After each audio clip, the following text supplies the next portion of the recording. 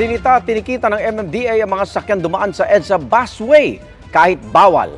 Kabilang dito ang ilang sakyang pag-aari umano ng ilang opisyal. Saksi si Joseph Morong. Dumaan sa EDSA busway ang sasakyang ito na number 7 ng plaka, ibig sabihin sa senador ito. Ang isang ito naman sa isang congressman na may blinker pa. May mga celebrity din tulad ng isang basketball player na kitang-kita ng spotter ng MMDA. May isa ring pulis at marami pang motorsiklo na hinuli. Tinatayang nasa 30 ang nahuli sa isang umagang operasyon lamang. Ang mga ito tinikitan, pinagmulta at ang iba na impound ng sasakyan ng MMDA. Ang paglabag sa pagdaan sa EDSA busway may multang 5,000 piso sa first offense. Aabot naman sa 30,000 piso sa fourth offense at posibleng matanggalan ng lisensya.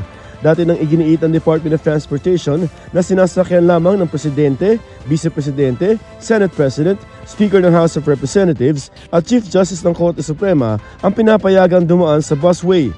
Pati na mga on-duty na ambulansya, fire truck at police car. Tinarget din ngayong araw ng MMDA Strike Force sa mga sasakang iligal na nakaparada sa Quezon City. Sa Summer Avenue, tiniketa ng mga driver ng mga natsyempuhang sasakyan. Ang mga sasakang iniwan at walang driver pinaghatak. Wala rin kawala ang mga nakaparada sa tapat ng mga kainan sa Borromeo Street.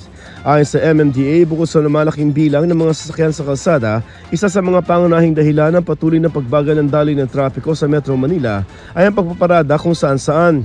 let's say a road that is uh, four lanes, 'di ba? So two lanes uh, northbound, two lanes southbound. Kung paparadahan natin 'yan, each lane on both bounds, mababawasan ng linya or madadaluyan ng traffic. Imbis na dumami yung volume ng kotse na makakadaan sa isang kalsada, mababawasan because of meron naka-illegally parked. Base sa pag-aaral ng TomTom, isang Dutch Navigation and Digital Mapping Group, lumabas na sa 387 metro area sa iba't ibang bansa, nangunguna ang Metro Manila sa may pinakamabagal na travel time.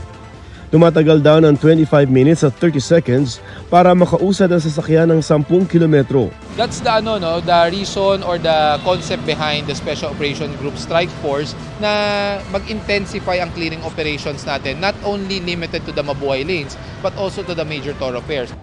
Para sa GMA Integrated News, Joseph Morong ang inyong saksi.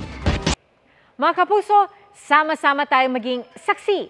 Mag-subscribe sa GMA Integrated News sa YouTube at para sa mga kapuso abroad, samahan niyo kami sa GMA Pinoy TV at sa www.gmanews.tv.